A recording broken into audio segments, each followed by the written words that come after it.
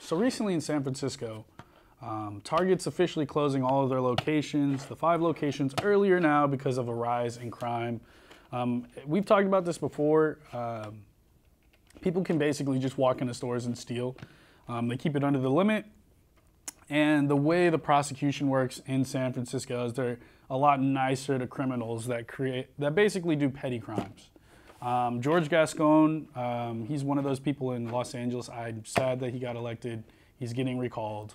Um, yeah, he got almost recalled immediately. And um, he's on that wave too of like, let's lessen prison sentences for um, criminals. I mean, recently, George Gascon, two guys, there was a situation with three guys who were, he wanted to sell some shoes to some people. I might be wrong, I'll put the story on screen because I don't know, I don't remember the exact details to the T. But he, um, he went to meet up with these two guys to sell some shoes and they ended up shooting him and stealing his shit. Uh, the dude didn't die, but they were both underage teenagers, and George Gascon did not charge the kids with one, possessing an illegal firearm, and for shooting the dude. They charged him with burglary and um, another crime. I, I don't remember that directly off the top of my head. It, will be on screen. Um, and so we're seeing in you know San Francisco the massive looting. It's not even like protests. Like people just loot the stores just because they can, and you know they know there's not really a big um, repercussion for what they're doing. I mean, yeah, we've seen this in a viral video before. I think No Jumper had posted the clip that I'm talking about, where a dude was looting a Target and the security guard didn't really do anything because there's actually could be more legal repercussions for him stopping the guy for looting him. So essentially, they were just like, uh, just let it. They just let it happen. Exactly. There's a lot of stores that tell the specifically tell their employees to not. If someone steals, do not like try to stop them. Just if anything, you would call the police, but like they're not allowed to stop them. Right. Right. And so um, there's instances of people getting fired for doing that in San Francisco for trying to stop criminals from stealing, and you know they get they literally get fired for this. Yeah. And so I'm just again like we we just talked about this. I don't understand why people continue to vote for these idiots. Like we literally are like some of these things I just feel like you go to high school and even with the high school education, you should be able to like look at these situations and be like, yeah, lowering criminal sentences does not that's not justice like criminal justice. No, no it's not. Give, putting criminals in an actual rehabilitation instead of just a, basically a slave pin. Mm-hmm. That's, that's, actually, actually what should work, but that's not what's the exactly. And now we have like DAs like George Gascon who is getting recalled, who's just like, oh yeah, um, this guy who did this, let's, oh, he's underage. You know, he just made a mistake. He only shot that guy. But um, let's not charge him with the gun. It's just like, what? Yeah. Like, how, like, where's your brain? Like, I don't understand that. And so um, we, we continue to see the downfall of the criminal justice system in the state of California. We had George Gascon who had to have a judge literally tell him, you cannot ignore laws. Like, any normal person's like, yeah, it's a law to prevent crime. Yeah. And then the, he just was like, oh, I'm going to ignore that. And he had to have a judge tell him, you cannot do that. Like that to me is just like, how could you vote for someone like that? I how could you vote for someone to, like that? To be perfectly honest, if this shit keeps getting out of hand, like the way it is, like if it gets worse than it is now, then those store like Target could just permanently leave San Francisco.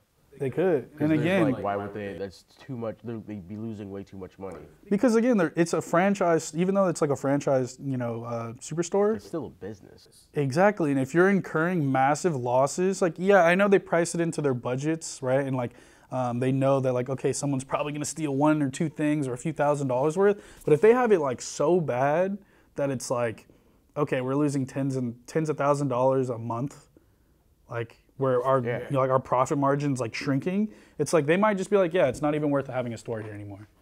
And it's just like, okay, dude. Like I really don't understand like the, the residents of San Francisco. It's just like you guys have homelessness, you have crime, rising crime, you have all these issues. It's like put someone better in office. Like just put put a better mayor in there. Yeah. Put a better DA. Poli- a DA, a police chief in there. Like honestly, like is it really that hard?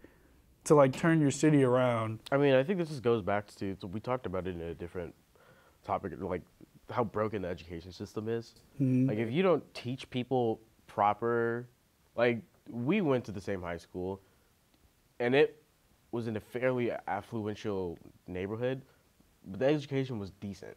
Mm-hmm. There's still a lot of shortcomings. There's still a lot of shit people don't know. There's like so many people don't know how to file taxes. Yeah. So many people don't know how the entire political system works, let alone the economic system. Or just in general, they don't even know how to research. And it's like it's you would think that it's so easy because Google, but like people literally just like go on Twitter, they go on social media, get their news from there, and then they like when they look stuff up, they read headlines and they're just like, oh yeah. That's all. It's Or they read yeah. they read an opinionated source, and they're like, that's fact. Or they read a biased article and say that's fact, and don't look at anything Well, else. to be fair, on oh. that point, everything's really opinionated right now. certain news organizations are very biased. Yeah.